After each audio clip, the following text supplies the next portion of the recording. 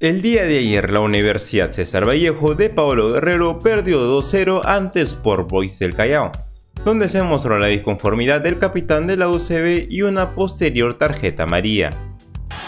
Diego Aro. Ahí está la amarilla entonces para Paolo.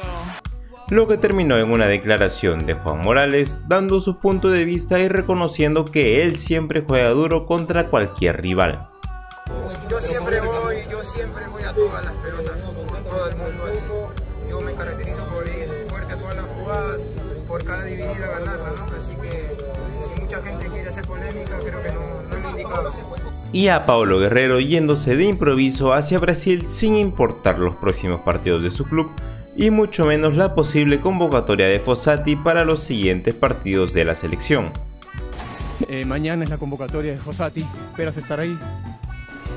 No, no sé, no te puedo decir, yo no te, ya lo dije, hablé miles de veces.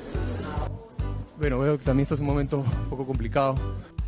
Sin duda su llegada no es la mejor que pudo tener y esa actitud no lo ayuda. Cuéntame en los comentarios qué te parece la actual situación de Paolo Guerrero.